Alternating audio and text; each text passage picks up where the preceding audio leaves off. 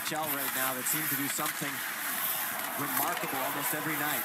Nedeljkovic forced to be sharp there, and Leddy help get that one out of the zone. And here he goes. You got it. Talked about it before the game, didn't we? Givani Smith going up against Jeffrey Viel, and let's remember, Smith laid out Middleton the last time these two faced off, and Middleton's still injured.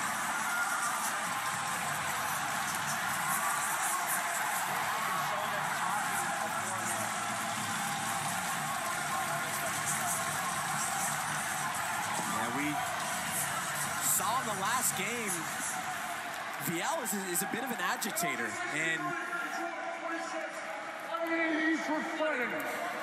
he was mixing it up with the wings throughout the last game that these two teams played just over a week ago. And as you mentioned, Givani Smith, who received a five-minute major for his hit on Middleton. Middleton's still out, so we thought we might see what we just saw.